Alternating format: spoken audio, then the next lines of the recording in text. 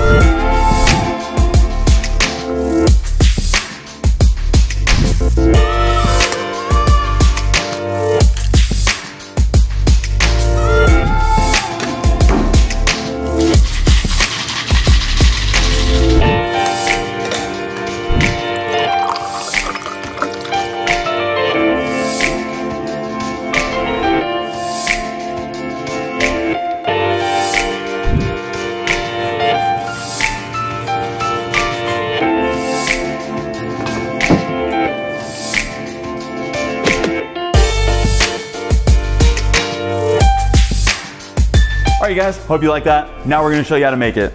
So we've got your tin play shaker right here, or any kind of shaker will work. We've got a Bulleit whiskey. So we're actually gonna throw, I don't know, about one and a half ounces of whiskey in there. Uh, right here, we've got a little Hennessy. It's gonna be a half ounce of Hennessy. So we're just gonna dunk that right there, a little half ounce line, boom. This here is a Demerara Sugar Simple with a little bit of almond extract. So we're actually gonna do a half ounce of that as well. So we're gonna throw that in there.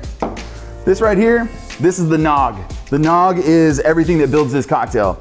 So what we've done is we've actually taken heavy whipping cream and almond milk over the stove top and we added a little bit of vanilla extract and cinnamon, kind of let that simmer. Don't wanna let it simmer too much or boil because you'll start to kind of cook the milk. Um, so I let it kind of just heat up and really infuse all the flavors there. Uh, we got an egg. Eggs are obviously the part of eggnog. Both of them in which are added and not fully cooked. So my kind of eggnog is actually, I just throw the whole egg in there. I just wanna make sure that I emulsify everything in the actual tin before I serve it. Uh, after that, we're gonna dry shake this. You wanna get that nice and emulsified, so you'll start to hear it kind of thicken up in the back there. It's gonna take me a second. Cue music. So I can start to feel it getting a little bit heavier. So we're actually coming down, looking pretty good there. We're gonna throw your ice in with that guy. Sorry, I don't have a, a scoop. We're gonna throw ice in there. We're also gonna throw ice in the actual glass that we're using. We're gonna give it another shake.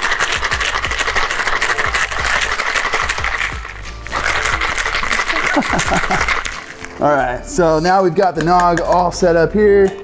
Beautiful thing about tin play, makes it a lot easy, or really easy to pour there. Oh, now. Then we're gonna take your eggnog, or I'm sorry, your, uh, your nutmeg. We're actually gonna shave the nutmeg right over the top of that. And you, my friends, are ready to have yourself some eggnog.